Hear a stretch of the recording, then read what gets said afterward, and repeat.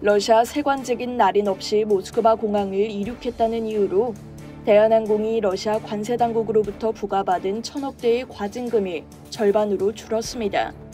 26일 항공업계에 따르면 러시아 법원은 최근 대한항공에 41억 5천만 루블의 과징금을 납부하라고 판결했습니다. 앞서 러시아 연방 관세청은 대한항공이 2021년 2월 화물기가 모스크바 공항 세관의 직인 날인 없이 모스크바 공항을 이륙했다며 83억 루블의 과징금을 부과했습니다. 대한항공은 이 같은 조치가 부당하다며 러시아 법원에 행정소송을 제기했는데요. 하지만 러시아 법원은 최근 끝난 1심에서 대한항공에 41억 5천만 루블의 과징금 부과 판결을 내렸습니다.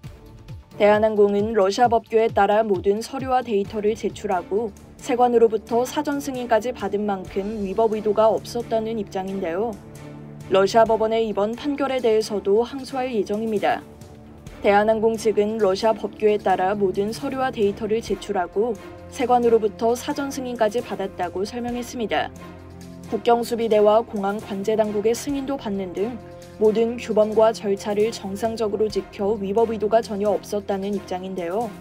대한항공 관계자는 러시아 법규에 따라 모든 서류와 데이터를 제출했으며 정상적으로 화물을 통관하고 세관으로부터 전자문서로 사전 승인을 받았다고 밝혔습니다. 또 세관의 직인 날인을 제외한 모든 규범과 절차를 정상적으로 지켰음을 감안할 때 위법 의도가 전혀 없었다고 덧붙였습니다. 이어 모스크바 셰레메티예보 공항 세관 당국에 수차례에 걸쳐 소명했으며 관세청, 국토부, 외교부 등 유관 부처에서도 당사의 소명에 적극 협조했다고 전했습니다.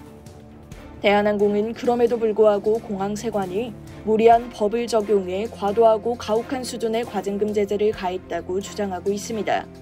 이상 여의도 튜브였습니다.